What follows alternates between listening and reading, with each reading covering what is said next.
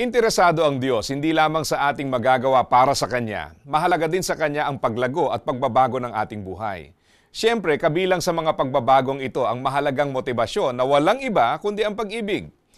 Kung ikaw ay nasa isang relasyon, alam mo na ang pag-ibig ay isang araw-araw na desisyon. Ang pagsasabi ng iyong vows at pagpapahayag ng pag-ibig sa araw ng kasal ay hindi minsanang pagpapahayag na automatic nang magaganap sa iyong buhay. Hindi ba't may mga ikinakasal na napakaganda ng sumpaan sa harapan ng altar? Tapos bandang huli isinusumpa na ang napakasalan at nais ng hiwalayan.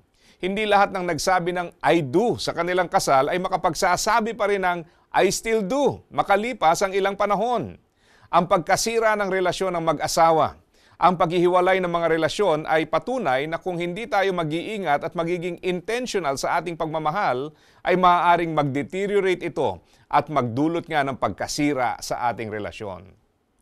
Maaaring mangyari din ito sa ating ugnayan sa Diyos. Dahil ang buhay ay binubuo ng samot-saring karanasan at impluensya. May mga karanasang susubok sa ating pag-ibig at pananampalataya. May mga karanasan na kung saan ay mabibigo ka sa inaasahan mo sa Diyos.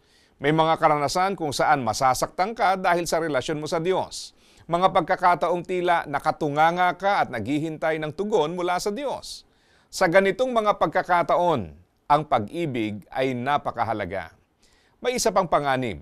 Ito ay ang panganib na tayo ay magpatuloy at maglingkod, subalit unti-unti namang nawawala ang sigla ng ating pag-ibig sa Diyos. May pagpapatuloy sa paglilingkod, subalit hindi na bunga ng pag-ibig sa Diyos. Ang sabi ng Bible, at kahit ipamigay ko man ang lahat ng aking ari-arian at ialay pati ang aking katawan upang sunugin, kung wala naman akong pag-ibig, wala pa rin akong mapapala.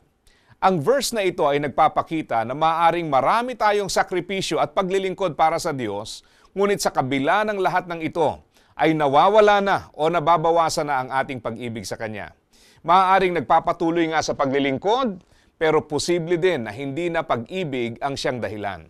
Mahalagang tandaan na mahalaga sa Diyos ang ating ginagawa para sa Kanya at mahalaga din sa Kanya ang motibo ng ating paggawa at ang motibong nais ng Diyos ay ang pag-ibig. Bantayan natin ang ating mga puso at laging hangarin na ang Diyos ay maluwalhati.